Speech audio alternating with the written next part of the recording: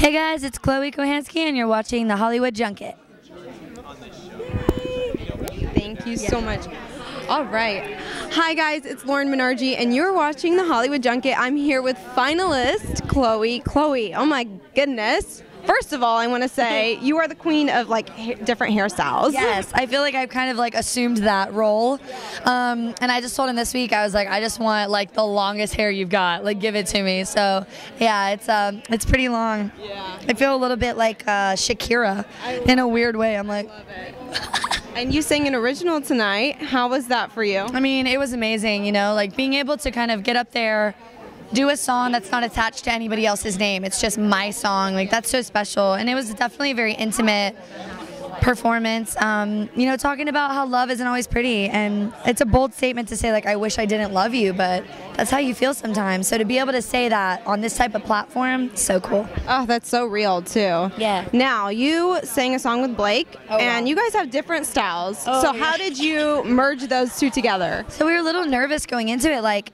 trying to figure out a song that would complement both of our voices. But Roy Orbison is so good because it had the country shuffle, kind of the bluesy influence, but also the rock influence. So it was kind of fun listening to Blake. He's so smooth, and his tone is like butter. And then, I come in and I'm like, oh yeah. Ah. And he's like, but he actually told me at rehearsal, he was like, I literally keep forgetting my lines because I, I keep listen, listening to you sing, and I'm like, how are you even, how do you do it? I'm like, I don't know, I feel the same way about you. So it's just so cool. You did amazing. Thanks. So you started off on Miley's team, but now you're on Blake's team. Yeah.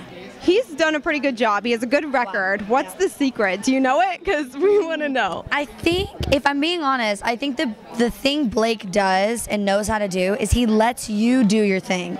So he coaches and he advises and he says like this is what sounds good or maybe that doesn't sound as great, but like he lets you figure it out for yourself. So you're actually developing into the artist that you want to be. You're not waiting for someone to tell you who to be. Does that make sense? And for me, I'm pretty headstrong and I have a lot of ideas. So to work with someone like Blake is the best partnership. It really is. I I, I would not have wanted things to go any differently. Well, and also you know who you are. So you have that going into Yeah. it. You know your talent and you know who you are. Thank so you. that's really special. Yeah. Is there anything this season of The Voice that you feel you didn't get to do yet, or do you feel like you covered everything? I really feel like personally, I really feel like I covered mostly everything that I set out to do, you know, and especially tonight. If I wouldn't have made it to tonight, I think I would have felt like I might have missed out because the last performance was Bette Davis Eyes.